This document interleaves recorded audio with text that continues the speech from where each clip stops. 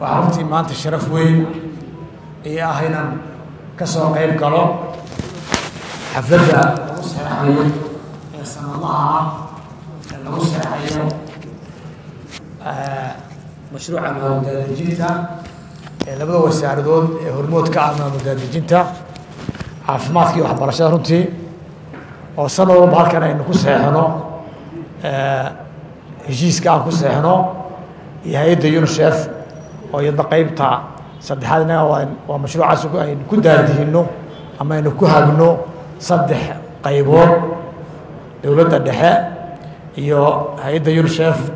iyo maayarada degmooyinka ka socdo maamul daadejintu ku dheeraan maayo taariikhda mashruucan j belgiga waa laga warramay. Ujeeddada weyn ee mashruucu uu ku soo bilaabmayna waxay ahayd in la awoodeeyo dowladaha hoose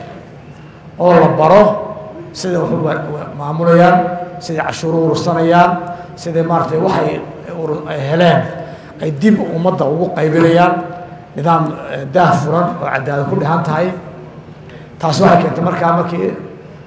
labadii faysi hore fayskii kuwaad soo dhammaaday wejigii labaad markii lagu jiray kala barhkiisii in maamul daadejinta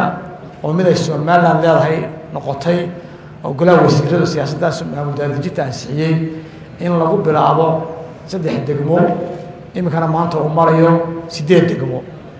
Oo keliya ay nooga dhiman tahay in degmooyinkii innagu aan dhiirgaraynaynay in hadda iyagan la gaadhsiiyo oo iyagu maanta ku jira inay horta dee dhismihii awoodeyntii la barayey siday maarata u shaqey u hagaajinayaan shaqadoodii iyo siday adeeg u bixin doonaan insha allah ee dadka adeega mujtamaca u gaadhsiin lahayeen sida saddexaad degmayna waynu wadnay koowaad aynu ku guulaysanay muddo laba sanaa socda dhaqaalaha aan ku bixinay qaranku leeyahay waa ceerigaabo laascaanood iyo caynaba. Waxaan rajaynaa iyagana inay sanadkaa wax ka dambe u diyaargaroobaan in iyagana lagu soo maamul daadejinta qeybta koowaad oo ah shaqaalaha maaratay caawiyaasha ama sabor staffka la dhahdo ee iminka hadda ay ku guulaysteen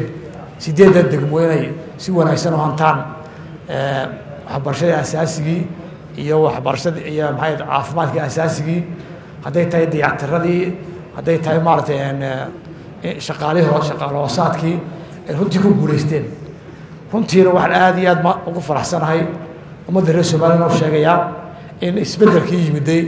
ee golayaashii degaanka oo maanta heshiiskan iyaga heshiiskoodii koowaad uu yahay ay la seexdaan wasaaradaha in runtii weyne ka muuqato iyo isbeddel aada iyo aada u qiimo badan oo isbeddelkii aan rajaynaynay iyo mid ka badani ka soo baxay degmooyinkii runtii laga soo doortay golayaashii cusbaa ee laba kun iyo koob iyo bishii may koob iyo sodonkeedii dhacay. Kormeerkii aan ku soo marnay haddaan nahay madaxdii hogaaminaysay mashruucani waxaan aada iyo aada ugu farxnay amaan dareennay isbeddel aada u weyn oo dhalinyartii cusbeyd ay keentay oo degmooyin dhulka aada u yaallay runtii aada iyo aada u yaallay u baqayniba inay kaba baxaan maamul daadejintaba ka hadhaan. Ay si deg dega shantii bilood markay maamulayeen runtii isbeddel weyn oo aada u qiimo badan ay ka sameeyeen. Oo ay soo gaadheen inay la soo gaadheen degmooyinkii hore u guulaystay oo dhowr degmaha inay soo garab yimaadaan runtii. Aada iyo aad baan ugu hambalaya maayaradaasi cusub ee runtii sida xilkasnimada leh taasi waxay keentay inay markay shaqeeyeen shan bilood shaqeeyeen ay qiyaaseen dakhligoodii iyo kharashkii isku qiyaaseen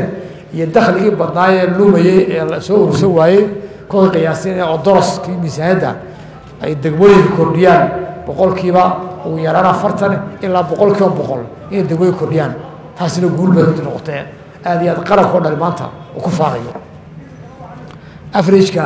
marka la soo qiyaasay la isku ceshana boqolkiiba afartan bay kordhiyeen miisaanadii dowladaha sanadkani taasina waxaa tahay noo baahnayn iyo ujeedadeed mashruuca j belgig oo hay'adaha naga taageeraayeen ee shanta hay'adooda untu ay nagala shaqaynaya waxay ahayd inaan gaadhno yoolkaasi inaan adeega mujtamaca ini soo doortay inaad bixisaan oo sida ugu wanaagsan u bixisaan cashuurta ka cashuurta ugu badan aad maatay baaqanaysana ururisaan dabeedna aad u bedeshaan inaad markaa ugu adeegtaan ad mashaariic iyo adeegyada asaasiga arrinta kale carabka lagu dhuftay oo ah in caafimaadkii iyo waxbarashadii sidii u dhammayd lagu wada wareejiyo. Waa halkaynu u soconno runtii isla sanadkana runtii waxaan inaan dood badan ka yeelno oon isqiimeyno iyaa meesha imanaysa. Shirkaa maayarka berberow sheegana hadduu waktigu soo koobayo islaahay shan iyo afartan cishuha waxaynu ka dhigan karnaa quarter oo saddex bilood. Baynu ka dhigan karnaa qiimeyntuna ka mid noqonaya in mar walba la qiimeeyo. Sanadka dambe laba kun iyo saddex atanka ma qaadi karnaa hawshii inayn caafimaadkii toos wada wareejino sideed degmo. Waxbarashadii asaasigii ma ku wada wareejin karnaa. Halkaa doodaasi inaan wartaa sanadkan in hawl adag galno oon isla jaan qaadno oo taladeena iyo tusaaleena isku aan maartay. Aynu isu geysano ayay noqonaysaa. Waxaan ku soo gaarnay. Dee waa taladaa midaysanee ciddii naga taageeraysa hawshan farsamo ahaan hay'adiyooka iyo dowladda dhexe iyo maaratay dowladi hoose ay ku soo wada socdeen baa lagu gaadhay. Midhadhalka maanta aan ku faanayno oo runtii iminkana aan isleehay take wuxuu sii qaatay sanadkana sii qaadan doonaa insha allah laba kun labiya atanka take off buu sii qaadanaya aad buu sii dhoonaan doonaa. Marka aad iyo aad baa idinku hambalaynayaa waxaa denoo hadda inoo xigo in heshiiskii la saxeexo waa idinku hambalaynayaa ilahayna idin fudaya xilka aad qaadeen. Hadday saxeexan tahay iyo xilkii kale umayni saarnaa dowladaha hoose. Waxaan idinka rajeynaa ilaahay idin fudayo hal qodob baan ku darayaa oo ilaahay de waxaa la saadaalinayaa. Ilaahay kama dhiga abaartii inay sanadkan ay ama roobku yaraanayaan haddii jilaanku nagu daba dheeraado abaaruhu ay nagu daba dheeraadaan dee qorshaha kudhiisa qaybta qaybaad ka tihiin oo dee dadka abaad ku dhacaysa waa dadka degmooyinka aad mas'uul ka tihiin taana ku xisaabtama oo qorshaha waxay noqon doontaa insha allah. Haddii ilaahay naga soo gaabiyana wanaagsan hadday nagu daba dheeraatana ku talagal baad samayn doontiin insha allah haddii alla ka dhow